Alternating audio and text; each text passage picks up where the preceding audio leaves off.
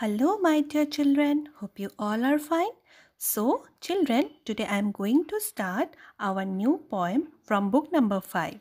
So, all of you take out your book number 5 and page number 12. So, children, in page number 12, we can see the poem number 9, Little by Little. Now, all of you look at your book and I am going to start the poem. So, at first, I will recite the poem then I will explain it. So children, let's start the poem. Little by little, little by little an acorn said as it slowly snuck in the mossy bed.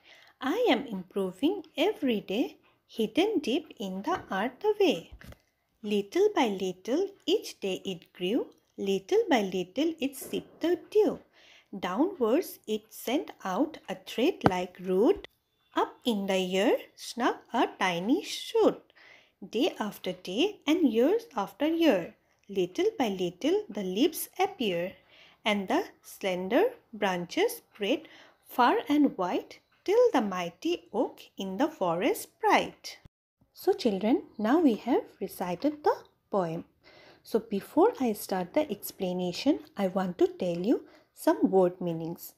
So look at your book. In your book, in the side, in a small box, some word has been given and along with their word meanings.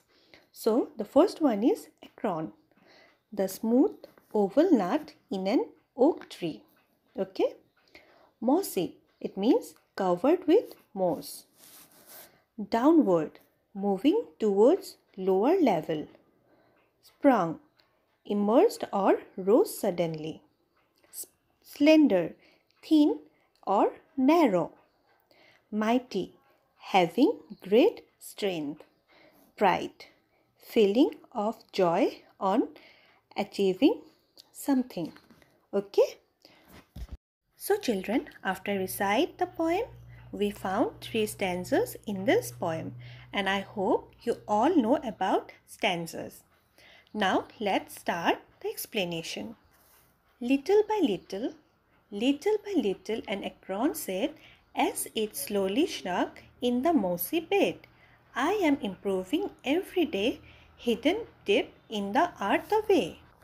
So, in the first stanza, the acorn itself said that little by little as it slowly go down below the surface in a covered with a small flowerless green plant like its bed.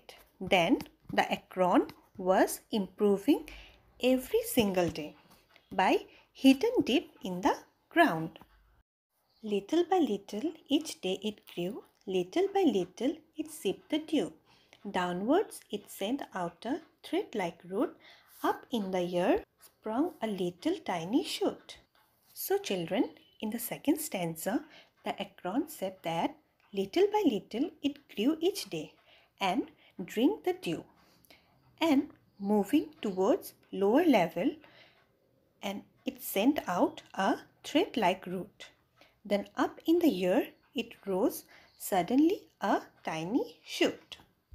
Little by little each day it grew, little by little it sipped the dew. Downwards it sent out a thread-like root, up in the air sprung a little tiny shoot. So children, in the second stanza, the acorn said that little by little it grew each day and drank the dew and moving towards lower level and it sent out a thread-like root. Then up in the air it rose suddenly a tiny shoot.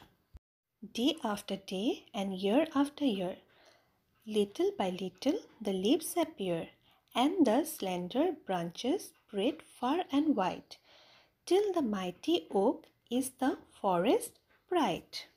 So children, in the third stanza, the acorn said that after some days and years, little by little, that means slowly, slowly, the leaves appear and the thin branches spread far and wide till it having great strength oak is the forest pride. So children, now we have completed our poem. I hope you all understood and enjoyed it. Thank you.